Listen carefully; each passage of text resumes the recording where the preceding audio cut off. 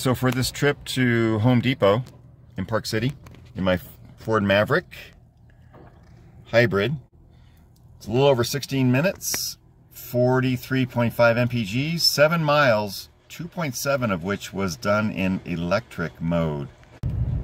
Okay, so right now I'm going to uh, Summit County Public Works Building for a client. I left Home Depot. Heading over this way. It's down in an area by Park City called Coalville. And we're going to see how much of this trip was done with the electric motor. Okay, we're approaching the Public Works building, which is part of Summit County for Park City.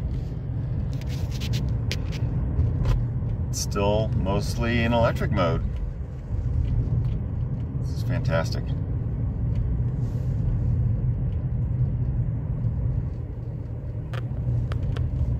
For this trip from Home Depot to the Summit County Public Works Building, it is 37 minute trip, 56.3 mpg. 24.4 miles total, 9.7 of which was electric. That I calculated is just a hair under 40% of the time in electric mode. There it is, Summit County Public Works. I just arrived at 56 miles per gallon from Park City. And we got cows right across the street. Very rural, it's beautiful.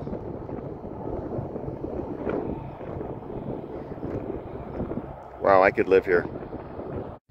Here we are coming back from Summit County Public Works. We're going to see what the MPGs are going back up the hill. That 54 MPG was mostly downhill. That's why it was pretty spectacular. So we'll do a comparison. I'm going to shut the hybrid off. This Maverick hybrid and see what this little trip summary says about that last leg of our trip. Here we go, this last leg. Coming up the hill from Summit County Public Works, we still got 31.1 miles per gallon on a 19 minute trip. 13.9 miles, only 1.8 of it was electric because we're going uphill. So thanks for watching.